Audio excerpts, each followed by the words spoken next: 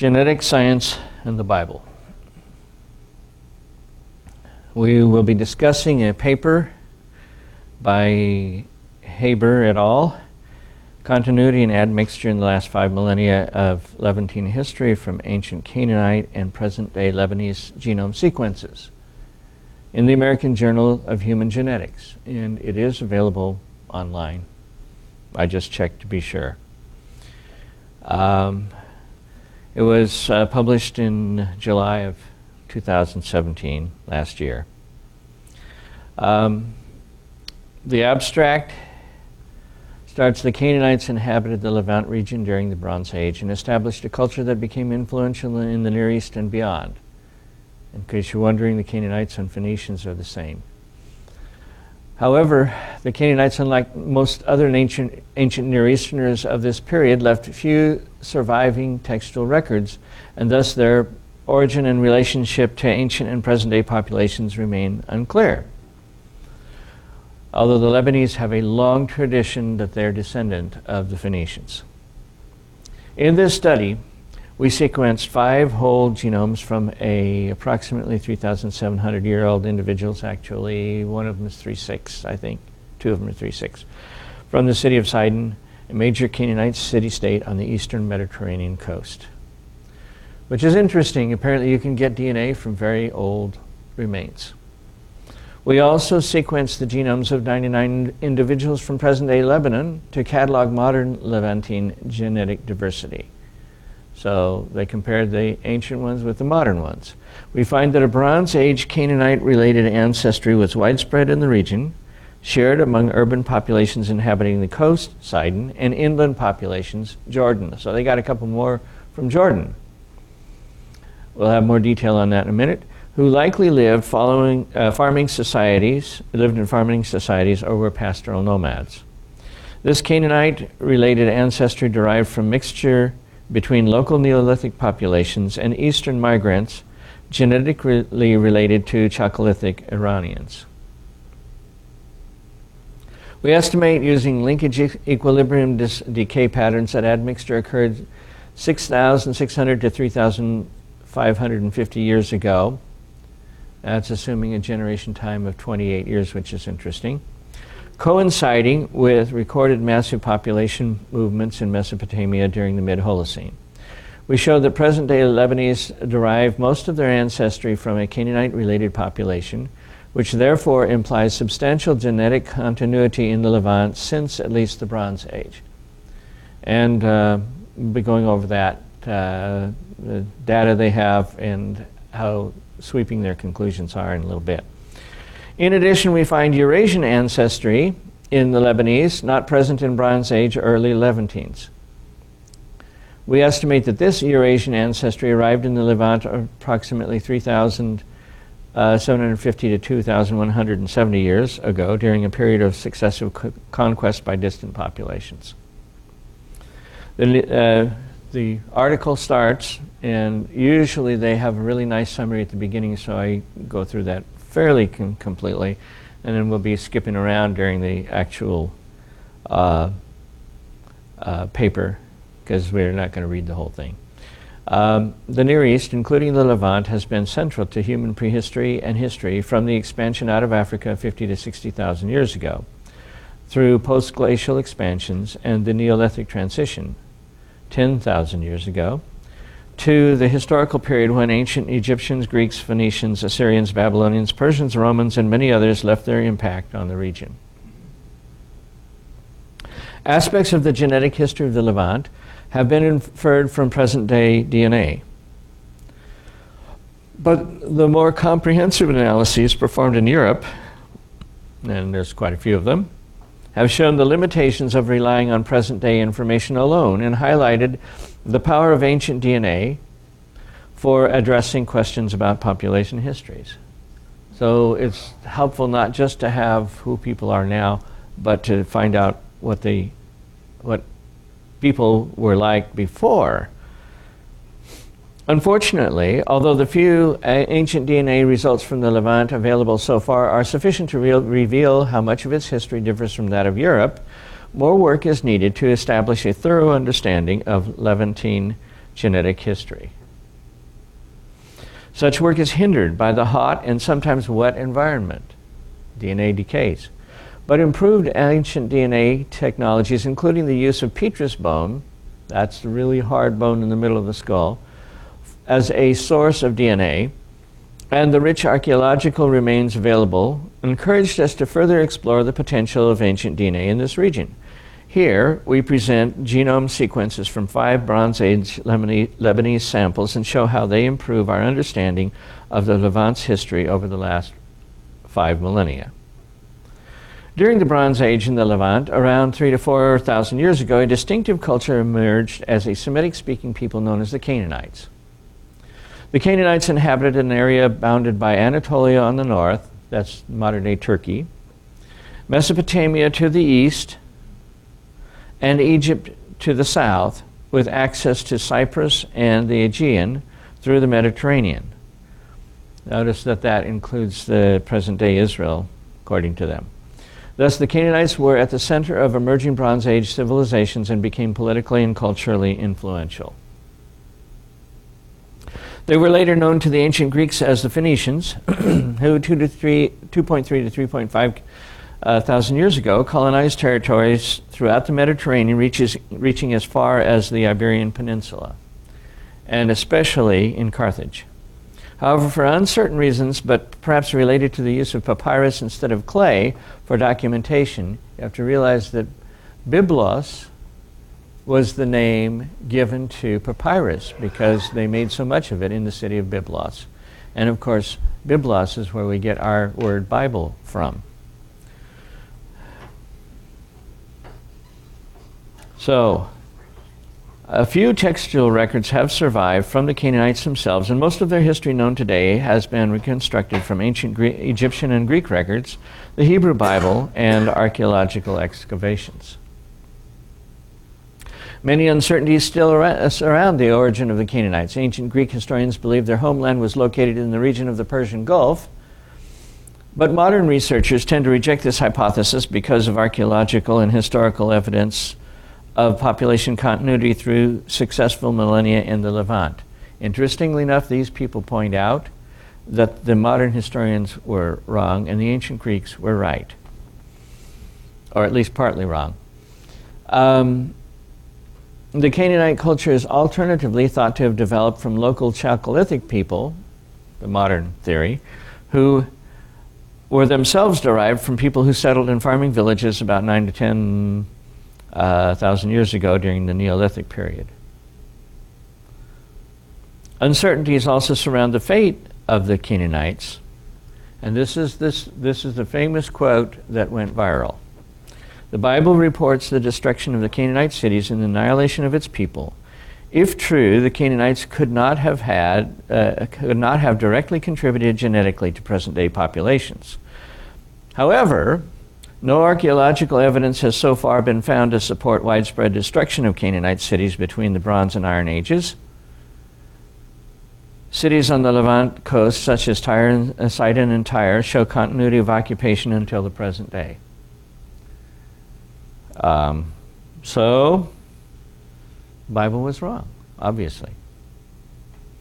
Um, I'm going to interrupt this uh, reading to bring you a map. This is a kind of traditional Palestine as, as divided up among the 12 tribes. Be careful, there's some debate over exactly where the border between uh, Reuben and Gad was, for example.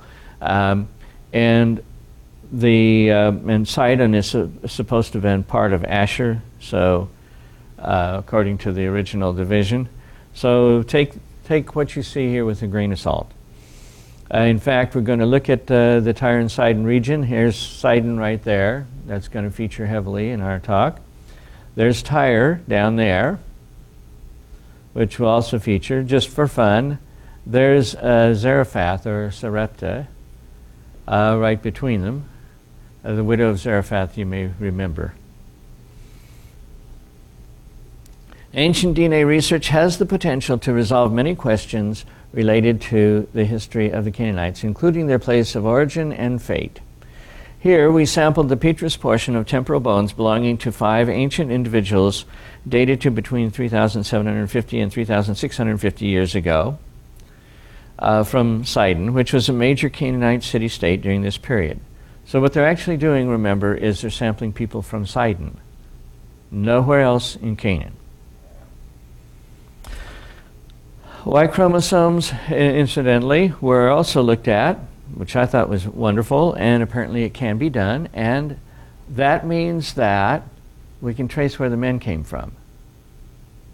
Remember, the autosomal can come from either sex, and, uh, and if you, you marry a local girl and you're from out of town, it would not necessarily, uh, you wouldn't know that your kids were, um, you know, which, which there was the father and which is the mother, but the Y chromosome will give you the father for sure, at least for the boys. Um, so Y chromosomes genotypically were jo- jointly called across males from the 1000 Genomes Project, present-day Lebanese, into identified Canaanite males using FreeBayes.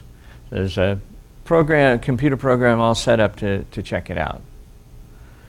Additionally, we sequen- sequence whole genomes of 99 present-day Lebanese individuals with informed consent to about eight times coverage on an Illumina high sequence. So I'm going to leave all that detail out there.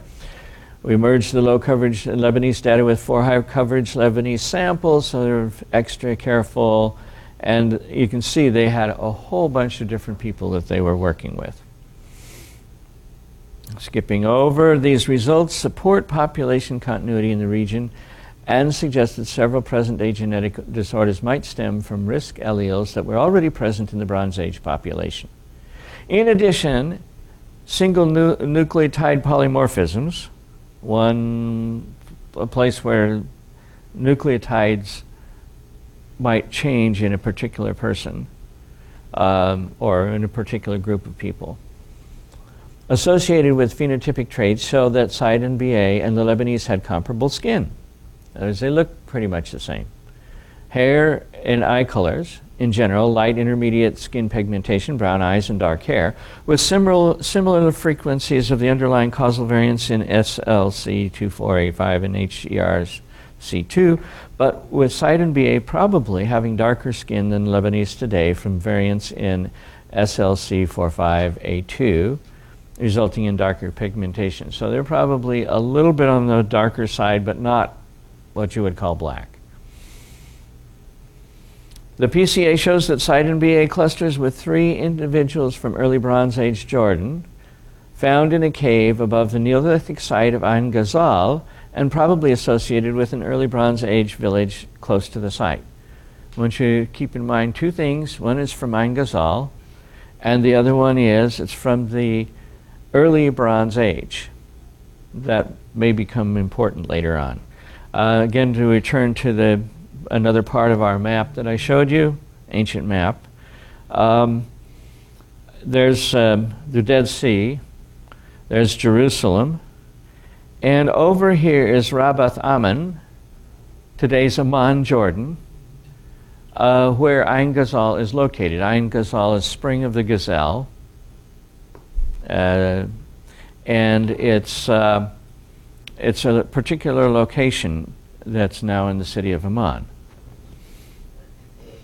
So that means that it was never in the Israelite territory. And, um, and it's early bronze. Both of those things become important. This suggests that people from the highly differentiated urban culture of the Levant coast and inland people with different modes of subsistence were nevertheless genetically similar, supporting previous reports that the different cultural groups which, who inhabited the Levant during the Bronze Age, such as the Ammonites, Moabites, Israelites, and Phoenicians, each achieved their own cultural identities, but all shared a common genetic and ethnic root with Canaanites. Wow.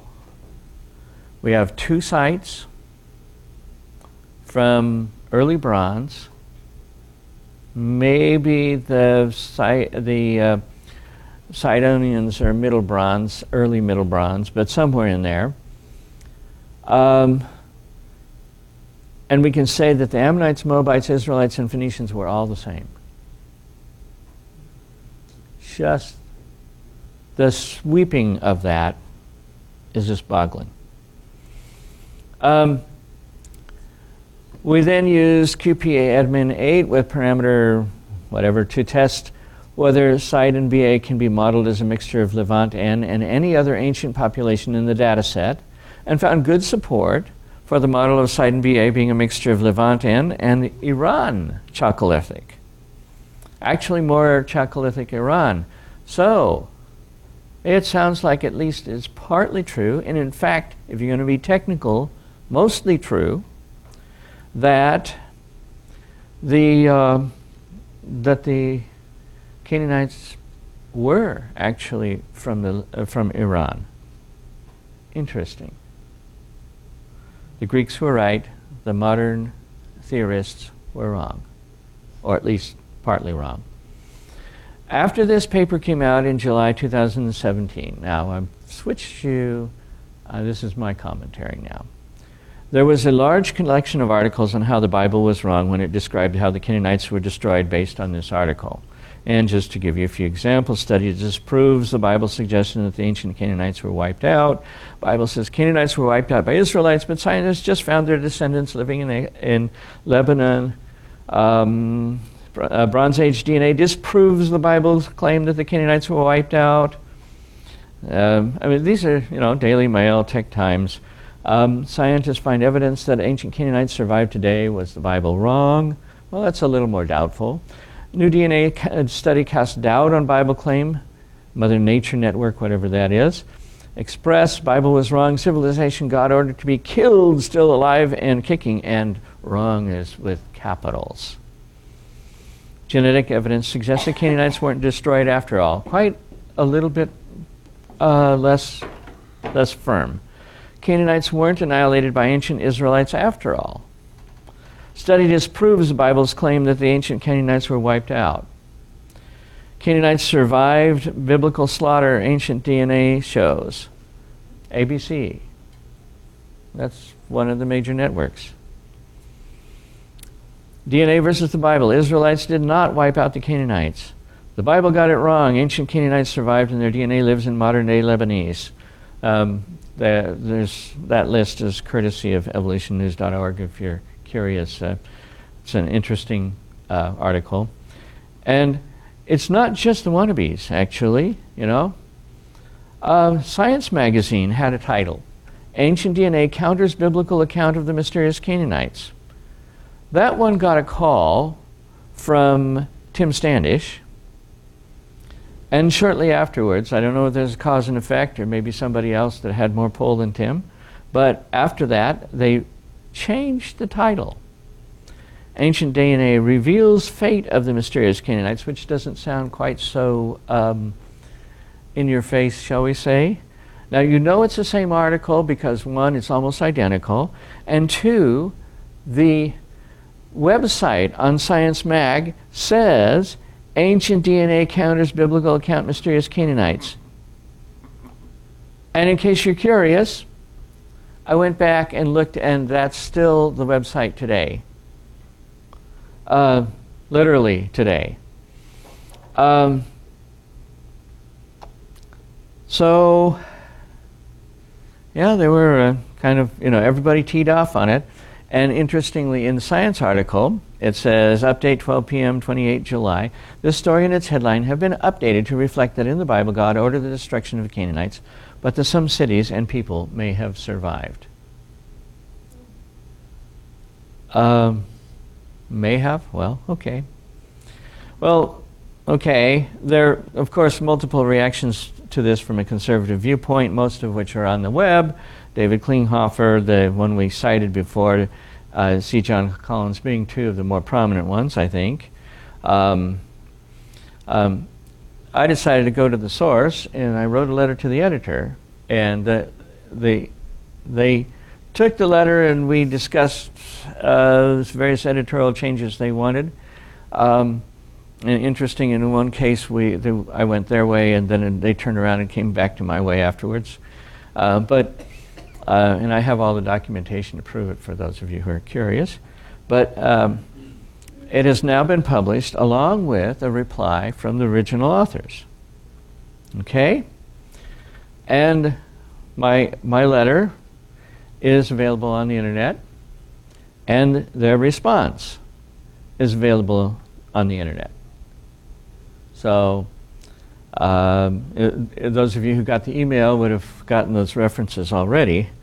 Um, my letter starts to the editor. In an otherwise excellent and well sourced article, Haber et al. stated Uncertainties also surround the fate of the Canaanites. The Bible reports the destruction of the Canaanite cities and the annihilation of its people. If true, the Canaanites could not have directly contributed genetically to present day populations.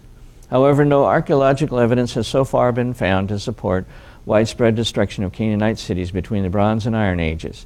Cities on the Levant coast, such as Tyre and Sidon, show continuity of occupation until the present day. I'm going to call attention to two things. One, the Bible reports the destruction of the Canaanite cities and the annihilation of its people. No qualifications. Two, um, cities on the Levant coast, such as Tyre and Sidon, show continuity of occupation until the present day. See, it's Bible versus archaeology. Now, the reference for what it is worth is just simply their article that we just went through. Uh, I go on to say no references are provided for these statements, and at least two of the statements appear to be incorrect or oversimplified. The author's first sentence describes describing the biblical reports concerning the destruction of the Canaanites is inaccurate according to several of those reports.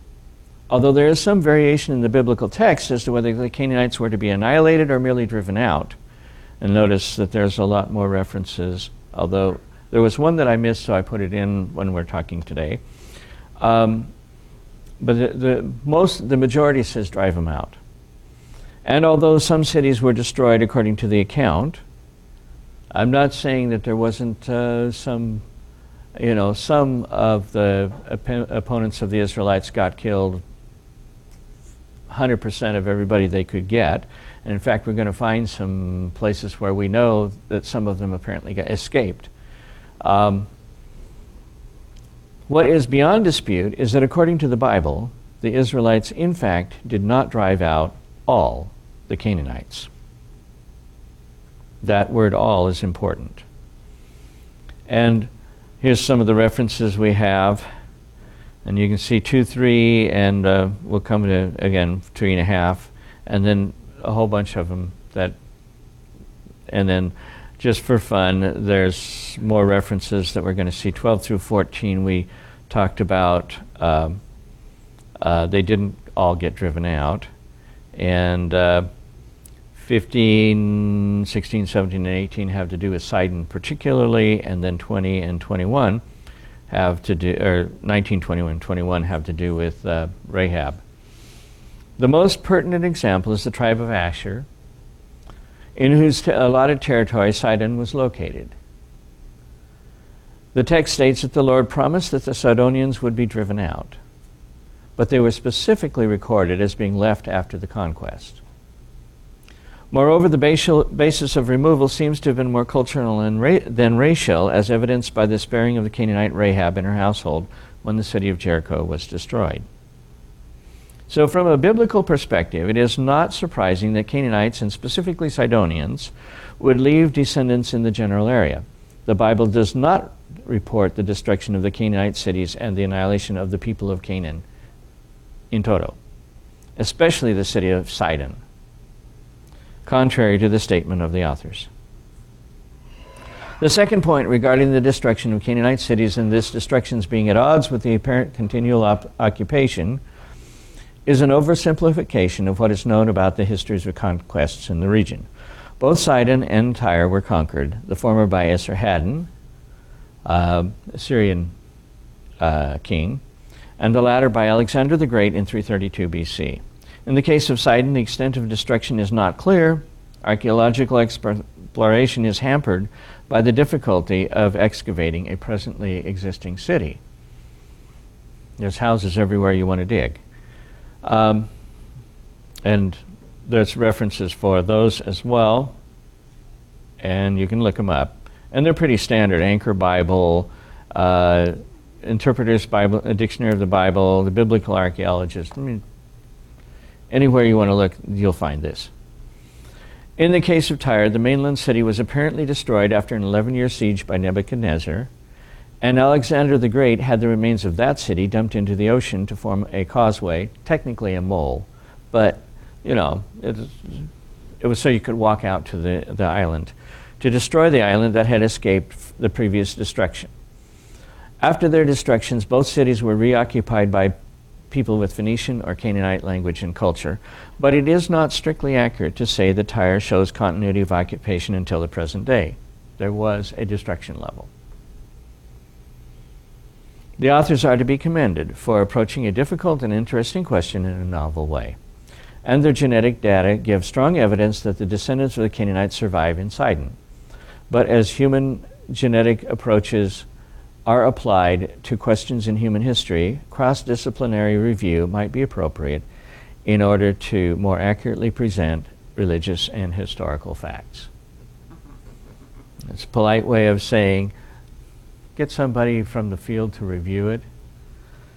Um, anyway, look at some of those texts. Deuteronomy 7 2. These are the ones that say, destroy them.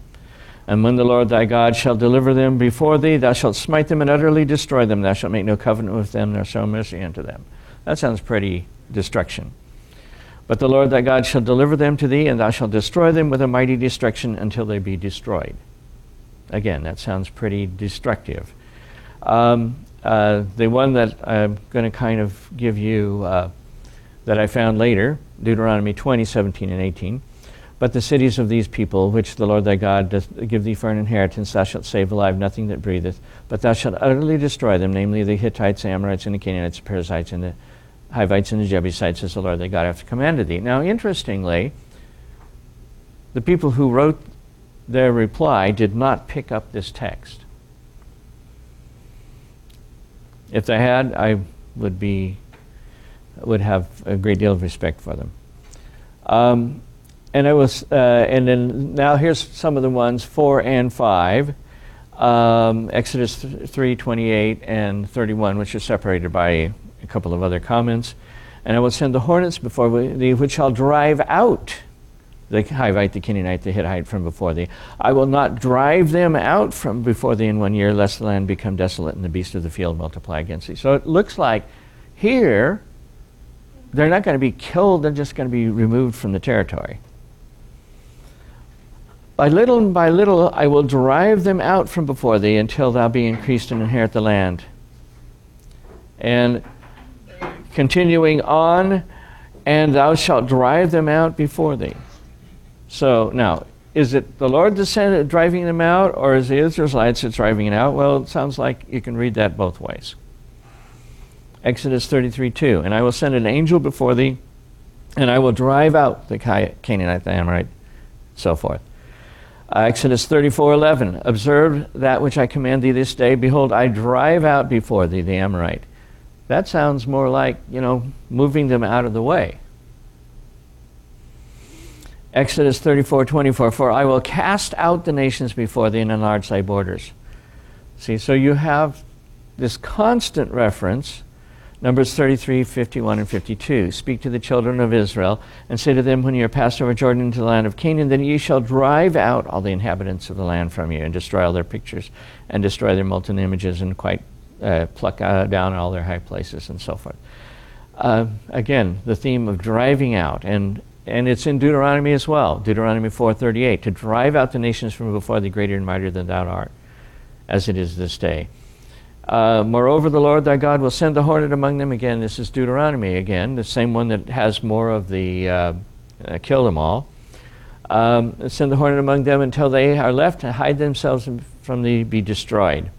So the Lord sends the hornet, and you know, they don't hide; they have to leave. Um, and yet, and this is 12 through 14, notes 12 through 14, yet the children of Israel of Manasseh could not drive out the inhabitants of those cities, but the Canaanites would dwell in that land. And Judges 1 19 and 21. And the Lord was with Judah, and he drave out the inhabitants of the mountains, but he could not drive out the inhabitants of the valley because they had chariots of iron. So he couldn't do it. And they gave Hebron to Caleb. I'm going to skip over that verse because it's not relevant to this, but and the children of Benjamin did not drive out the Jebusites that inhabited Jerusalem. But the Jebusites dwell with the children of Benjamin in Jerusalem unto this day, which implies, by the way, that Judges was written before the time of David because at that point you couldn't say until this day. And 14 and 15 is referring to specific places. Neither did Manasseh drive out the inhabitants of Bethshean, nor Taanach in her towns, nor Dor in her towns, nor the inhabitants of Ibleam in her towns, nor the inhabitants of Megiddo in her towns, but the Canaanites would dwell in that land. And when it came to pass, when Israel was strong, they put the Canaanites to tribute and did not utterly drive them out did not drive them out. Neither did Ephraim drive out the Canaanites that dwelt in Gezer, but the Canaanites dwelt in Gezer among them. Neither did Zebulun drive out the inhabitants of Kitron, um, but the Canaanites uh, dwelt among them and became tributaries.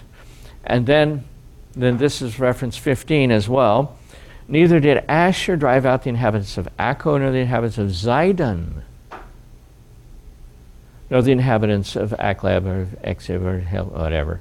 Um, but the Asherites dwelt among the Canaanites and the inhabitants of the land, for they did not drive them out. So, according to the Bible, very specifically, the inhabitants of Sidon were not driven out. Neither did Naphtali drive out the inhabitants of Bethshemesh, nor the inhabitants of Bethana, but dwelt among the Canaanites. And this is just more of 14, which it keeps going. And the Amorites forced the children of Dan into the mountains, for they not suffer them to come down to the valley. So the Amorites in the territory of Dan just kind of sat there and chased the children of Israel out instead. Or at least the p- children of Dan, and of course they went up and made their own little city in Dan. And Hebron and Rehob and Hammon and Kanah, even unto great Zidon. Um, oh, this is, this is the lot that came to the children of Asher. Verse 24 says the fifth tra- uh, lot came out to Asher, and then verse 28 is including Zidon um, which is, of course, Sidon. Um, in fact, I think in the Hebrew Bible it's the same word. Uh, all the inhabitants of the hill country, this is uh, God promising that He'll drive them out. Um, and all the Sidonians, them I will drive out from before the children of Israel, only divided by lot. So God says, Yeah, I'll take care of it. But didn't happen. Now, these are the nations which the Lord left to prove Israel by them, even as many as Israel had not known all the wars of Canaan, and then, um, namely, the five lords of the Philistines, and all the Canaanites, and the Sidonians. So the Sidonians are specifically mentioned as being left. And they went to prove Israel, and you can read the rest of that. And Instead of driving them out, they took their daughters to be their wives and gave their daughters to their sons and served their gods. So they intermarried.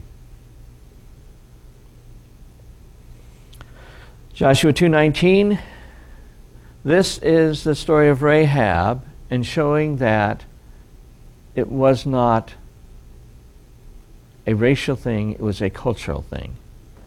And it shall be that whosoever shall go out of the doors of thy house into the street, his blood shall be on, upon his head, and we will be guiltless. And whosoever shall be with thee in the house, his blood shall be on our head, if any hand be upon him. So if you go out the door, you're fair game. You stay in the house, we swear on our honor, we will not touch you. And that includes anybody in your house. We're not even going to check to see who it is. And the city shall be accursed, even it and all that are in them, to the Lord. Only Rahab the harlot shall live. This is Joshua instructing, okay? We're going in, we're going to take them all down, but Rahab, anybody, she and all that are with her in the house, because she had the messengers. And finally, of course, there's a record that it actually happened. And Joshua saved Rahab the harlot alive in her father's household and all that she had, and she dwelt unto Israel until this day. And in fact, she intermarried with the Israelites, and Jesus was a descendant of Rahab. Now, here's the reply. And I'm, rather than telling you everything, I'm going to let you discuss what, how you would reply to that, or if you would. Um, Giem suggests that our statement, the Bible reports the destruction of the Canaanite cities and the annihilation of its people, is inaccurate and not supported by references. The Bible reports, and here's a reference, and Israel vowed a vow unto the Lord and said, If thou wilt indeed deliver this people into my hand, then I will utterly destroy their cities. And the Lord hearkened unto the voice of Israel and delivered up the Canaanites, and they utterly destroyed them and their cities. He called the name of the place Hormah. You think that answers it? By the way, if you're curious, it's Numbers 21. Interesting how they reference it, Holy Bible Authorized Version 1611. Within a longer count, it further reports, and the Lord delivered them into the hand of Israel, who smote them and class- chased them under great Zidon, which is, of course, Sidon, and unto Misrephoth Maim and unto the valley of Mizpeh, and they smote them until they left none remaining. And all the spoil of these cities and the cattle the children of Israel took for a prey unto themselves, but every man they smote with the edge of the sword until they had destroyed them, neither left they any that breathed. Is that an adequate answer? And then they go on to say, which is fascinating, our work aimed to shed light on the relationships of Canaanites to ancient and present day populations from a genetic point of view, rather than disputing the Bible or starting a biblical discussion in the pages of a genetics journal.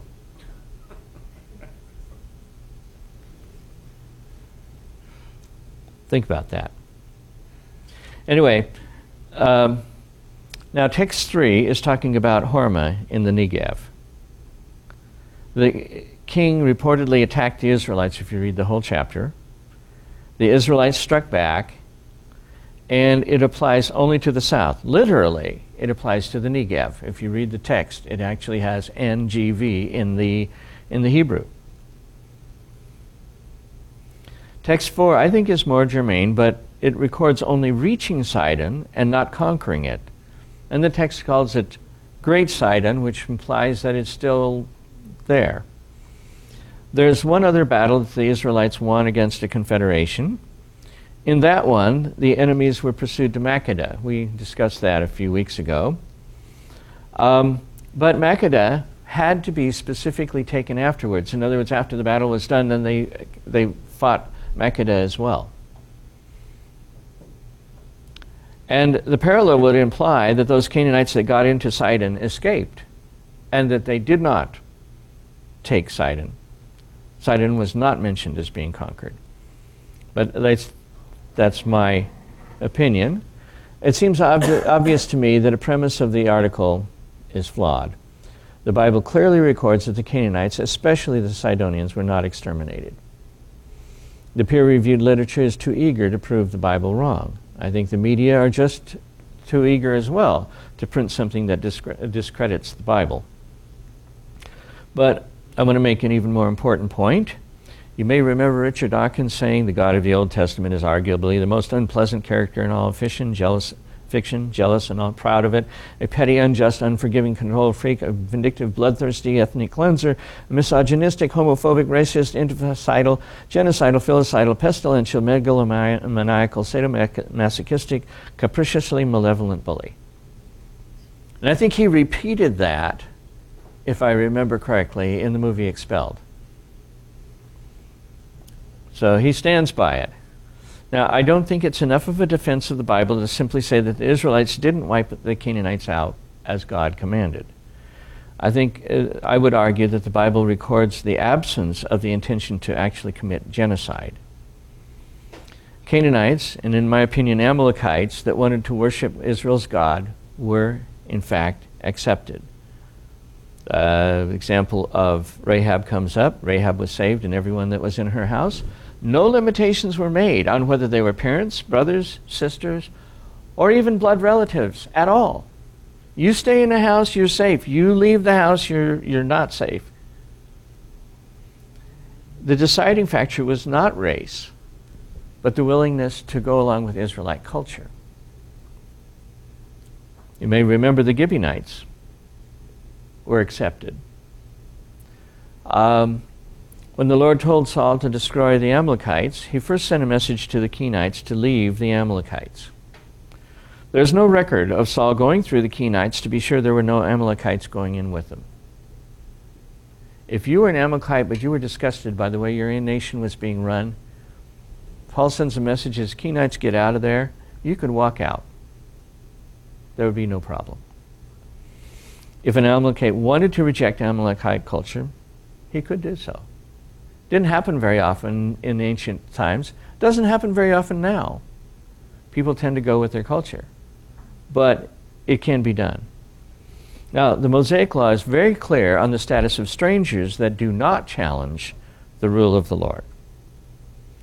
You may remember Leviticus 19:18 and it has one of the most famous passages in scripture. Thou shalt love thy neighbor as thyself. Right? Well, a little later in that same passage, specifically verses 33 and 34, and if a stranger sojourn with thee in your land, ye shall not vex him. But the stranger that dwelleth with you shall be unto you as one born among you, and thou shalt love him as thyself.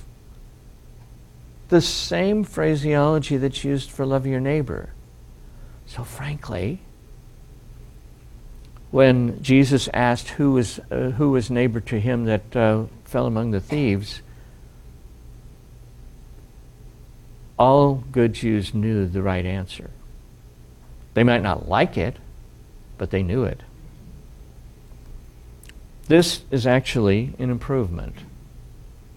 Cultures, in fact, can be worthy of extermination, and I'm going to give you an example Nazi culture.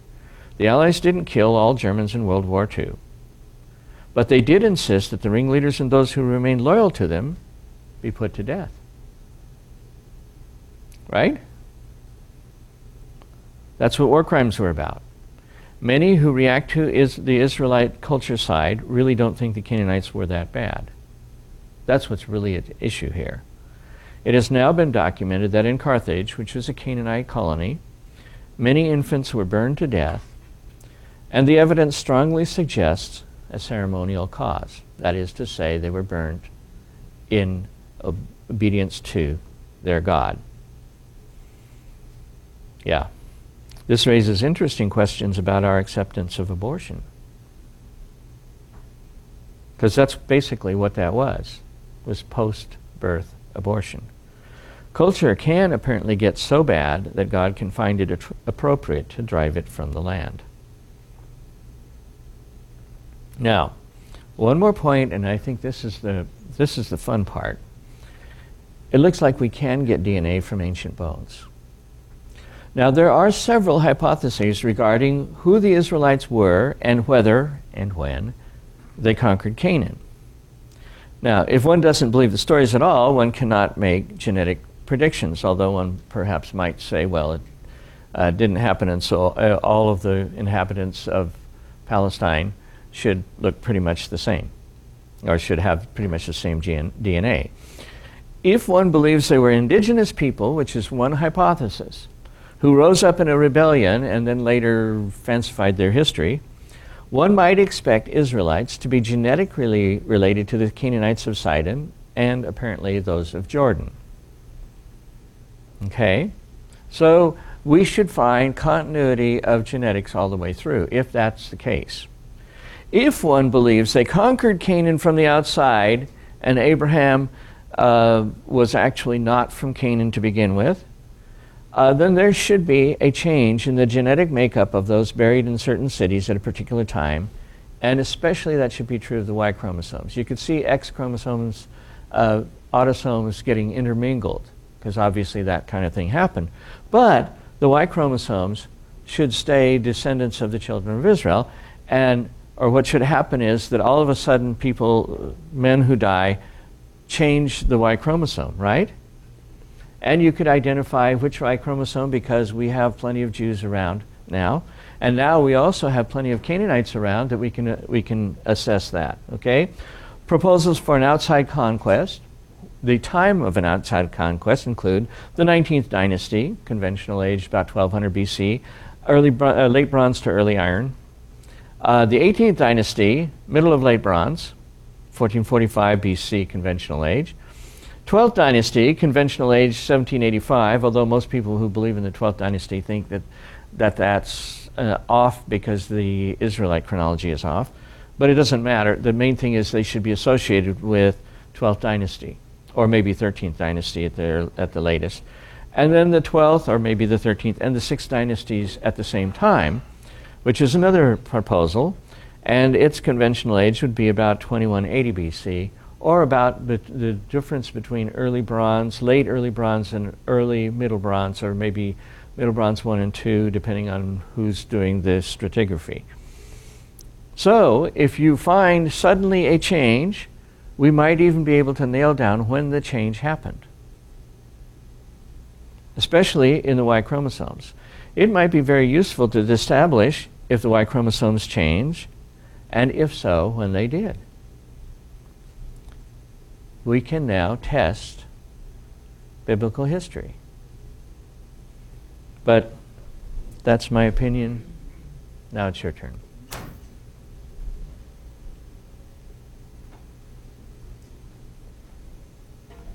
Um, I think you are to be commended uh, for this from several perspectives. One's, uh, one, of course, is that the general scientific community needs to be more careful, and uh, you have pointed that out. Uh, but uh, you have dealt with a multidisciplinary area here that is very difficult for very few, very few people can handle that much uh, data. And of course, they walked into it uh, with their eyes closed almost, and uh, it's uh, to me uh, shocking almost, although expected how this anti-biblical comment gained such popularity in the scientific literature and the popular press um, seems to betray an agenda behind this uh, and cautions us to be extremely careful in what we do. If they can find one mistake, they will tend to take advantage of it. It's, it doesn't seem fair, but it's human nature.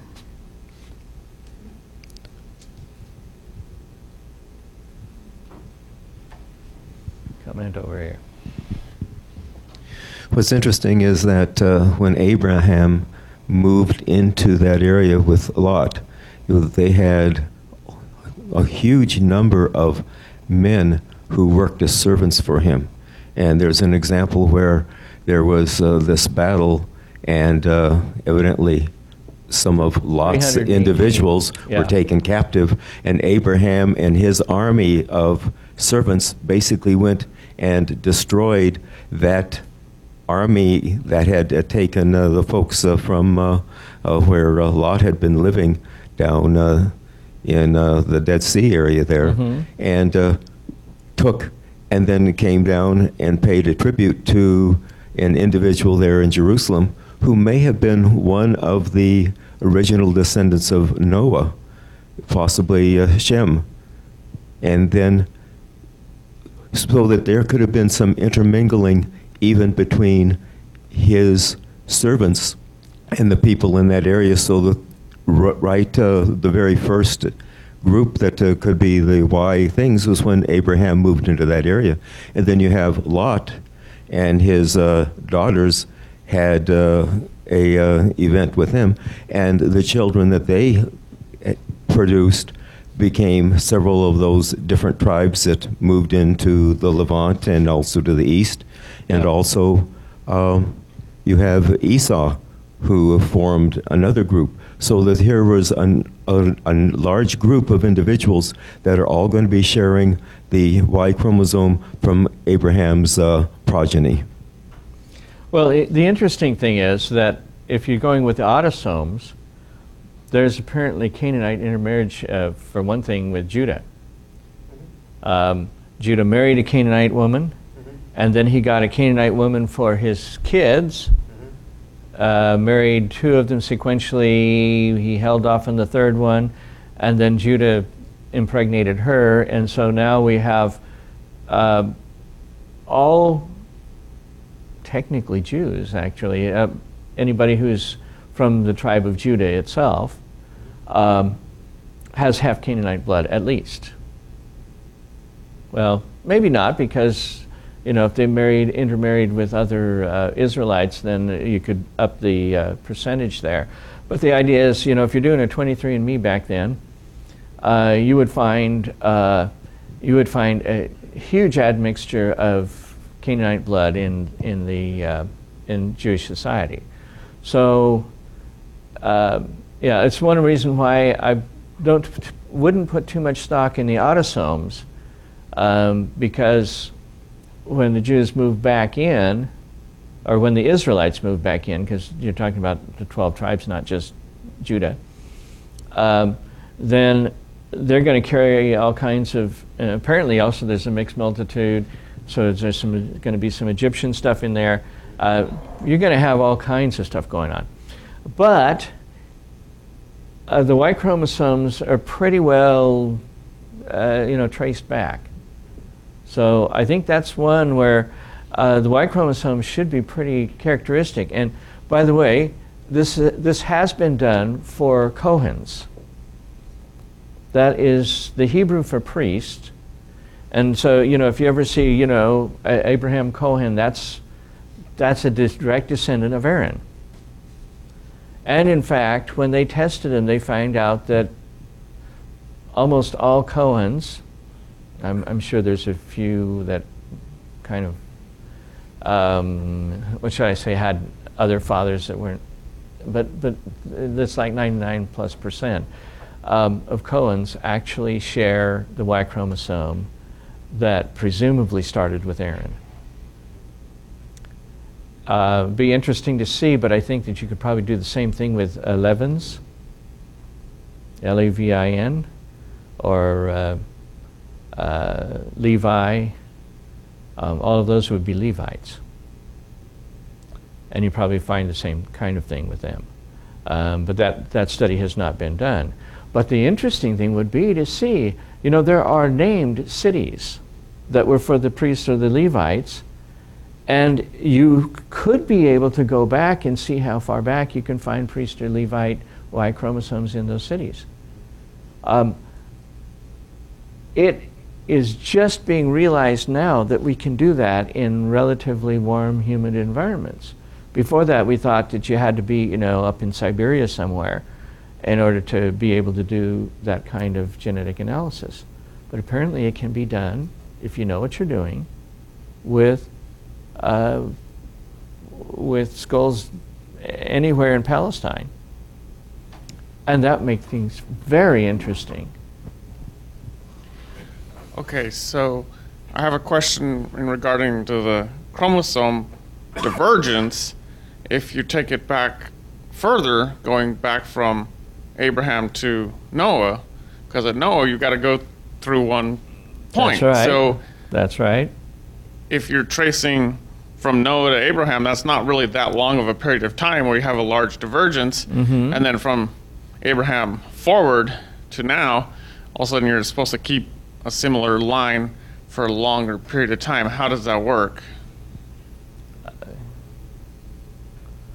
Well, you know, every time I, you produce sperm, you're going to have some of them that will have mutations here or there. In sperm, as opposed to eggs, eggs tend to have like um, extra chromosomes or missing, chrom- uh, missing chromosome pieces or stuff like that. They, they have whole pieces missing or, or, or du- duplicated or something. Um, but, but for sperm, it tends to be single nucleotide polymorphisms that you know they went and con- uh, copied everything right except for flipped a uh, um, uh, flipped a uh, let's say uh, an adenine to a guanine or maybe an adenine to a thymine or something like that and uh, and so those are the kind of things that you would be able to say um, how long is it probably going to take to get you know, five uh, single nucleotide polymorphisms and then be able to give a rough estimate as to how much time it takes. And you'll notice that that time is like plus or minus 50%, so you, you know, you really, we can't be that accurate with how, how long it's been. Paul, uh, you just related to that uh, question, I'll pass it on to you. Uh, what about the question of contamination here? Do they have enough samples to really be sure? Well, actually, yes, and they uh, they're very careful with that kind of thing because obviously the person who's working on it is a human, and conceivably could give you trouble. Of course, there'd be an easy way to get around that for Y chromosomes. You just let the ladies do all the handling.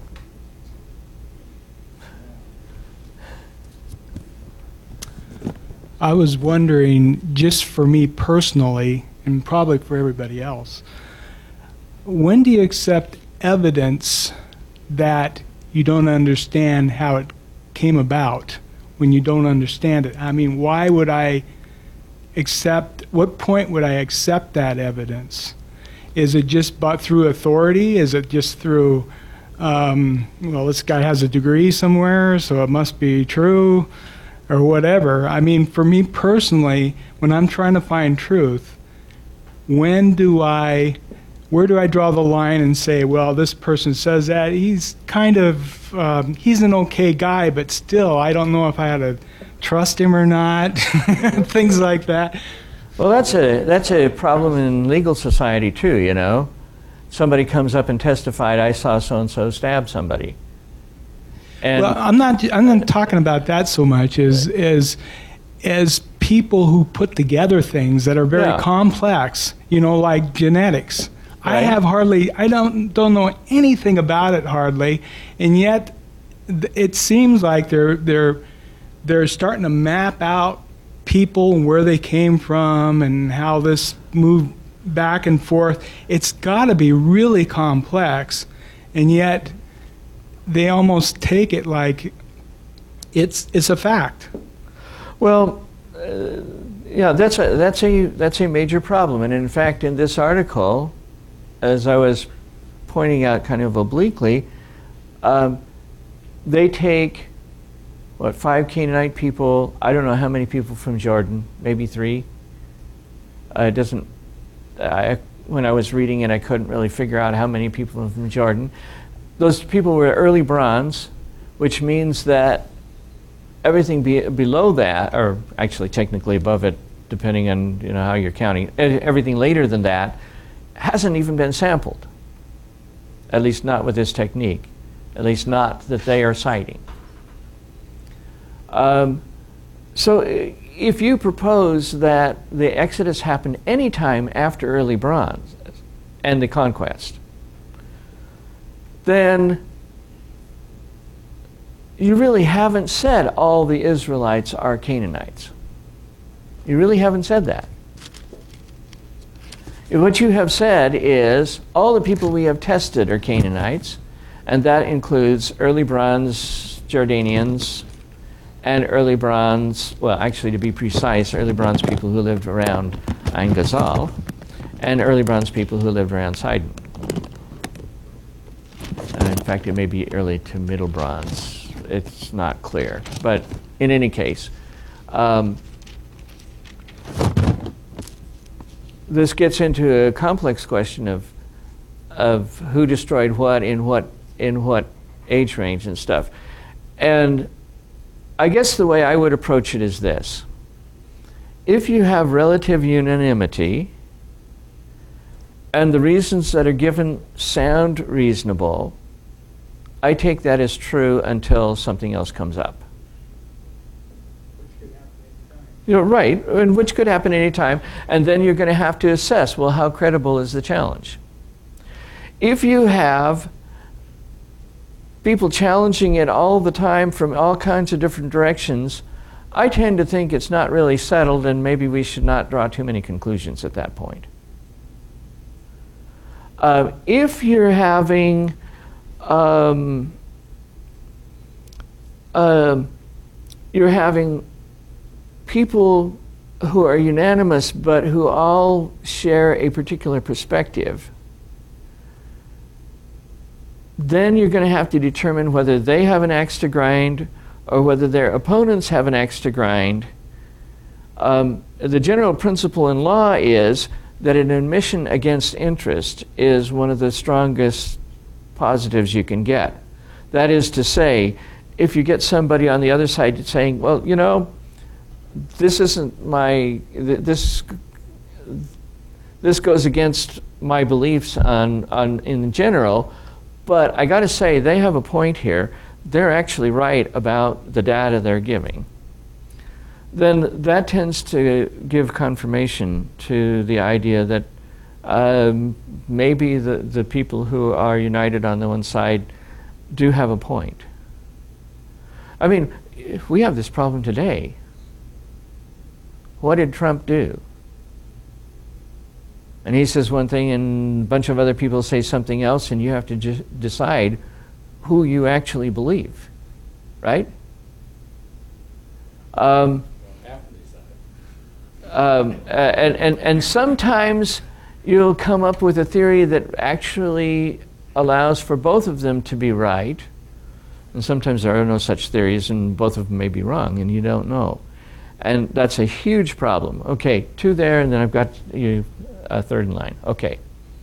Yeah, I, I uh, appreciate this idea of using uh, this genetic analysis to in, to uh, uh, defend the benevolence of God, uh, so to speak. I, I like that because we really need to do that from these Old Testament stories because the new atheists obviously have held them, have had the microphone a little too much on deciding the character of God uh, and what He's like. Um, it's much like the, the, what you're describing is much like a story of the Amalekites as well, when um, uh, in Deuteronomy uh, God tells them to remember what the Amalekites did to you along the way when you get out of Egypt, when when the Lord your God gives you the rest from all the enemies around you in the land he's given you to possess as an inheritance, you shall blot out the memory of the Amalekites under heaven. Don't forget it. So, this was something that was to be part of their uh, culture and history uh, for the future.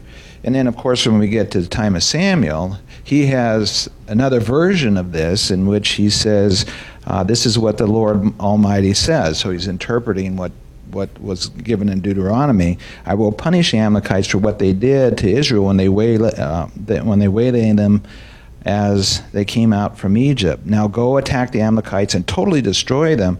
Everything that belongs uh, to them, do not spare them. Put the men, women, children, and infants, and cattle, and sheep, and can- camels, and donkeys, uh, all to death. Um, so he's, it's that demand of this killing them is coming from Samuel, not from God. Because God said only to blot out the memory. That could be, there's many ways of doing that. But Samuel said, well, well this is how we're going to do it. We're going to just kill them all. As if, and he, in his authority as a judge for Israel, um, uh, decided that, that it, this is how you're going to do it. It was not God's, uh, you know, it doesn't appear to be God's will. It was uh, Samuel's uh, and the, uh, the, the desire to get revenge in the Israelite culture for what they did that drove that, not, not God's uh, intent. And uh, so there's, there's a lot of things we can do to clean up the image of God in the Old Testament. And this is a very fascinating way of thinking about one way to do that. And I like that. Go ahead, and then we'll pass it back. So just to respond to Gary's on deciding these things. And so to me, one of the issues is you have to know what people's starting premises are too, because you can be logical and and using proper logic get from point A to point B, but if you're starting at the at a, a point that you know, if you're starting, depending on your starting assumptions, then you can still come up with a, a false uh, conclusion. So, uh, and there's no, to me, there's no rush necessarily. I mean, there'd be a few things maybe, but there's no rush to have to decide. Uh, and the biggest point on this is the great controversy. You know, it's taken, it takes a long time for the truth to come out. and, and you have to, you, you can't force it. You, you, and you're like, uh, so, so to me, things things will come out. It'll happen in good time, and and uh, and you have to get things on all sides of of the discussion before you can correctly come to a proper conclusion. So.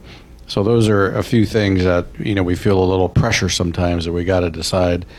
Um, you know, maybe for, you know if I have to decide do I jump or stay on the cliff, is something okay. But but in these kinds of philosophical and and scientific sorts of things, um, you don't necessarily have to rush. And and the other thing too, it's always a working hypothesis.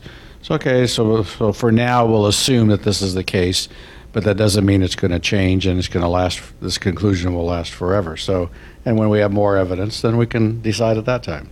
So that's kind of how I tend to approach these things. Go ahead. I used to tell my students, What have you studied out? One of the reasons I would say that was because we are awash in facts today. We get the facts from CNN, we get the facts from Fox, we get the facts from somebody else. Everybody has the facts and they don't even agree we have the facts on Donald Trump. We have the facts on Hillary Clinton. It depends on which which group you're sitting with, who's going to laugh. If Trump's name comes up in some groups and everybody bursts, bursts into laughter, if you bring up Hillary Clinton's name, everybody bursts into laughter. Same thing happens with science. We know what the truth is because the latest thing that we get from someplace says, we now have the facts on this, we now know. Well, tomorrow we don't know. So I would just simply say for for me, I, I listen to the stuff coming in. I study it out the best that I can, knowing that somebody someday is going to figure out the penicillin thing. But 150 years ago or so, they didn't have it figured out yet, and it was a stupid idea. And when the thing came out about um, ulcers, and somebody says, well, they're caused by bacteria, the paradigm was that's insane. So we hold the I truth. can remember when we proved that it wasn't caused by bacteria. Yes. I remember when people drank milk all day long because they had ulcers. um, so I, I think that when we are searching for answers, if we hold the answers we get tentatively, no, and don't expect to find facts that are going to be absolute in science or math or theology or archaeology, but they're interesting ideas today. And maybe tomorrow we'll find out that they're true, and maybe we'll find out that they're not.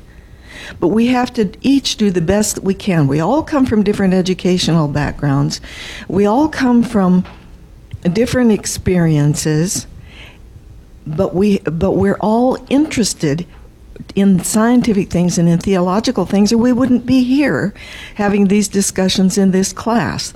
And i appreciate the fact that we hang stuff out there and beat it up until we say okay we either get it or we don't we like it or we don't but we move on. Do we have to have the absolute truth on every scientific idea before we can talk about it I think let's hold it tentatively in our hands, and then we will. I think we can. Li- I personally can live with myself better if I can hold it tentatively for a while You know, till the next paradigm shift.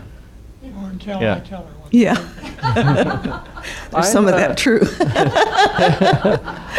I'm an emergency physician. And so it gets even more difficult then. Because you can't just say, well, you know, maybe the truth is here and maybe the truth is there.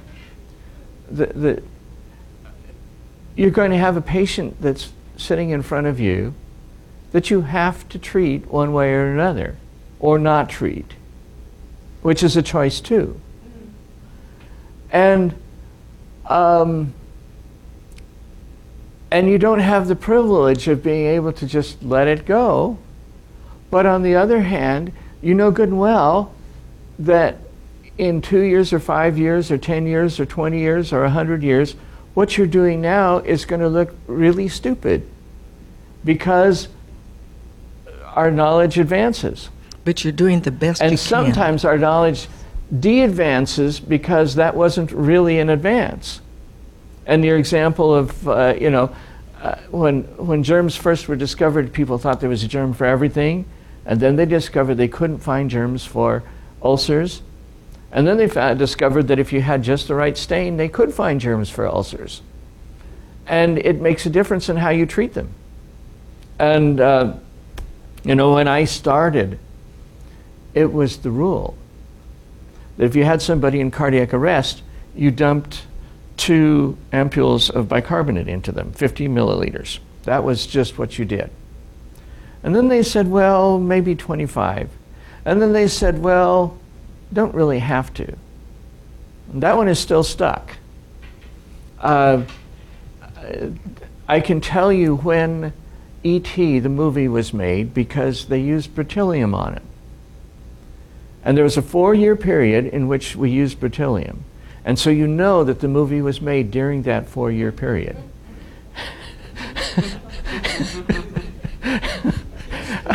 and so we're, we're doing stuff, and we have to make a choice knowing that it may not be the right choice. And so I'm going to say that it's even more than that. It's even when you have to decide to do something that you have to keep open the idea that you might be wrong. And you're going to have to make your best guess and go with it and be humble about whether you're doing the right thing absolutely or not. And that's true in life too. All of you people came to church on Saturday, not Sunday. Do you absolutely know that that's the way it was? Well, we have the Bible, but there are different versions, and you know. Actually, no, we don't know for dad, absolute dead sure. But you take the information you have, you make the best uh, guess you can at the truth, one that's most likely to be right, and beyond that is least likely to cause harm, and you do it. And there are good friends of mine who will be in church tomorrow. They are doing what, you know, hopefully most of them are being honest about it, and they're going to do, you know, and, and if they find something different, I hope they change. Matter of fact, if we find out we're wrong, I hope we change too. You know, the fact of the matter is nobody has a guarantee. You do the best you can, you move on, and you keep in mind that there are questions that could come up that could derail what you're doing. And that's a scary thing to do if you have to be right. But if all you have to be is honest, you can handle that. So I like to point out in these kind of discussions too that just so a lot of times we think if we just give educate people and give them the right facts, that will then they'll make the right decision. Well, the, the thing to remember is that you can have the facts and you can know the truth. And really, so like in, in heaven, Lucifer eventually came to a point where he was convinced he was in the wrong. So, so the truth will not compel you to accept it. So that's the other thing. It's still a choice, even knowing the actual truth. Uh, And, and, and not everybody is going to choose the truth. Yeah. What's fascinating in medicine is that for a number of the therapies over the years, it's almost like a pendulum swinging from one side to the other side, and eventually, as more and more information comes out, finally the pendulum finally gets to the middle, where you use this particular treatment for these selective cases and you avoid this treatment for these selective cases. But when it first came out, the one was every every person got it, and then the pendulum swung the other way. Nobody gets it, and finally comes to there. Like uh, Inderal, when Inderal first came out, uh, the start of my training program, we would give 40 milligram IV Inderal. Boom. As a bolus. Now the nurses look at askance if you order one milligram IV. But back then, we didn't think at all because that was the modus operandi, and that was Mm-hmm. what was thought was the correct dose 40 milligram Inderal IV. Right, Boom. right. As a push. And then as time goes on, we get better drugs. Uh, somebody will use metoprolol instead of Inderal. Uh, and used and usually it's about one tenth of the uh, oral dose. And, and so, yeah, eh, No we're, end. we have a moving target in terms of our knowledge, and we have a moving target in terms of our ability, and it just, it's interesting. You're a scary lot. We're still practicing medicine, okay?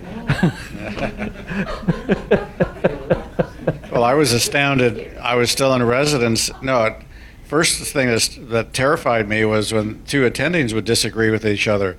Say, wait a minute, I thought I was learning one thing and you guys are disagreeing. and then the other time I had to learn. Actually, that's when the uh, calcium channel blockers first came out, and I had to relearn atrial fib and and you know what we're going to do for for this. And I'm still in residency, and we're already learning new things. So. Yeah. And then I saw Dr. Uh, who was the, who was our anatomy teacher, the short guy, Roberts. Oh, Roberts, Dr. yeah. Roberts, and he's reading. He's like in his 60s, and he's reading an anatomy book. I said, "What are you doing? I thought you knew all this stuff." And he's still reading, and there's still even in anatomy there was new things coming out. So you would think that that would be a static field, but Yeah, but it isn't quite. I, I was interested that uh, um, one of the guys uh, in anatomy was sectioning people, uh, well, obviously dead people. Um, oh, thank you. and um, and you could look at the thorax, like you know, and here's a cross section, and here's where the aorta is, and stuff. And everybody thought that that was kind of a weird way to learn anatomy until CAT scans came out, and all of a sudden it was a perfect way to learn anatomy.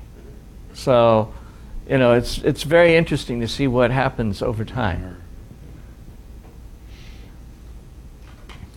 I guess I'll ask um, at the beginning, you back to the, the article and, and your writing back to them.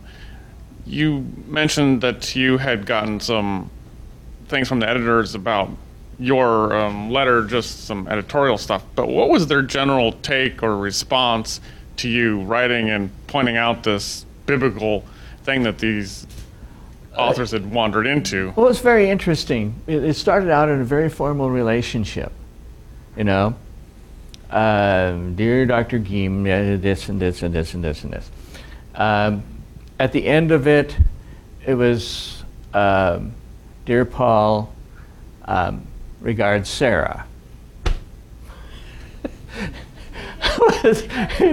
that was that was when it was accepted. You know, it was it was very very interesting to see the the dynamic that was taking place, and it was. Um, uh, but but actually, they were pretty. The the the place where. It, the you could tell the tone was changing in particular. I mean, they had some respect at the beginning, at least it sounded like they had respect. But what, when it really changed was when they got reviews. And they got, um, I suggested three people. They got one review from one of the people I suggested, and then they got one review from somebody I didn't suggest. And the reviews were all very, um, how shall I say that? They were very, very supportive of my position. Let's, let's put it that way.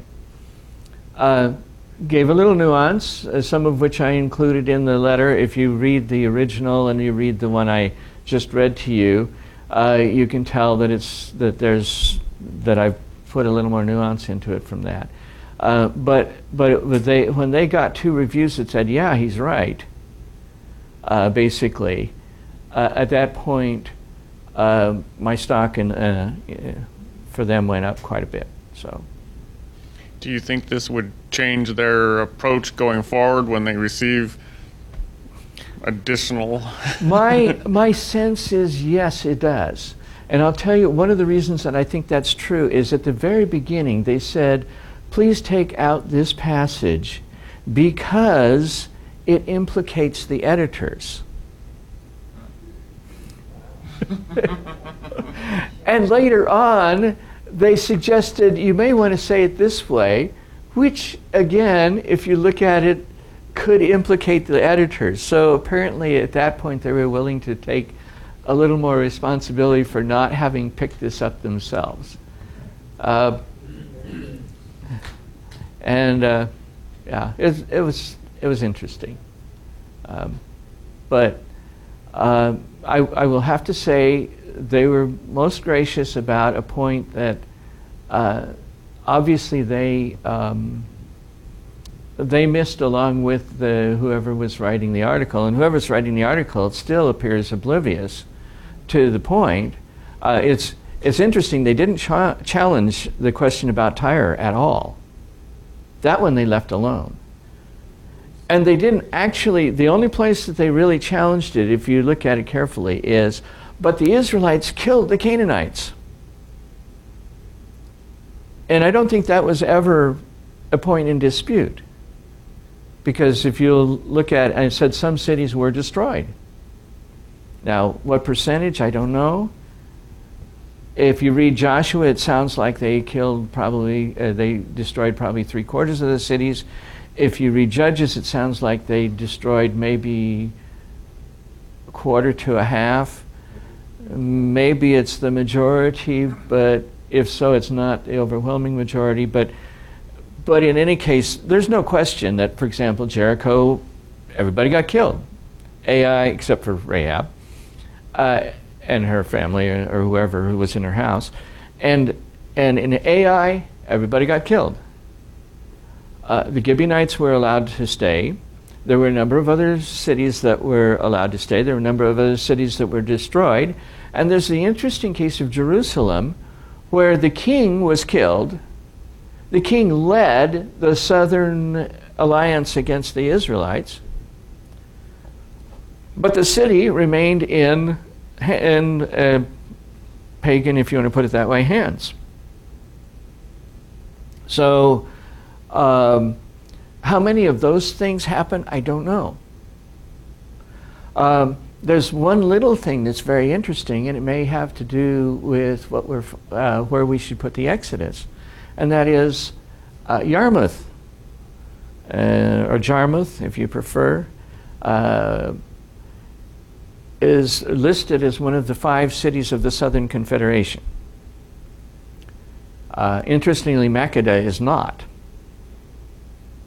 Uh, but Yarmouth was, in fact, uh, uh although they list that well, Jerusalem wasn't fought against, uh, Yarmouth never was fought against. And yet, in late early bronze, the city just kind of disbanded. Nobody lived there anymore, including Israelites. Uh, exactly what happened is not clear. Did everybody go out and fight, including the women and kids? I doubt it. Um, did everybody realize the Israelites were just too powerful and pack up and head off towards Sidon or something? Possible.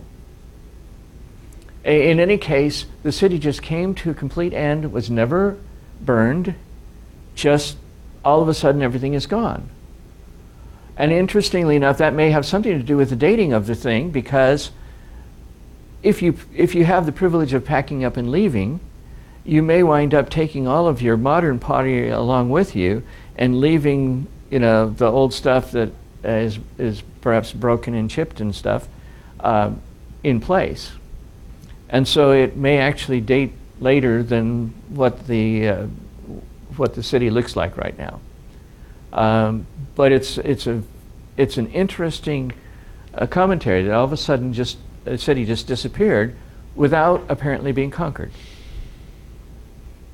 And uh, so there are all kinds of models that you can that you can use to try to say what happened with Israelite conquest. Uh, yes.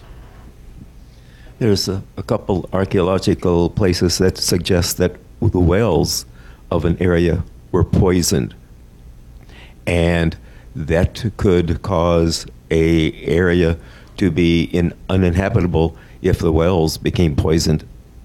Um, it certainly could. I'm, I'm, not familiar with the precise uh, wells that would be poisoned, and the other question is, when were they poisoned? So can you use them to date uh, conquest? It's going to be hard. But yeah, it, that's one thing you can kind of keep in mind. I'll, I'll, have to find the article for you. Okay. Anyway, come back next week and we'll talk about The Hobbit.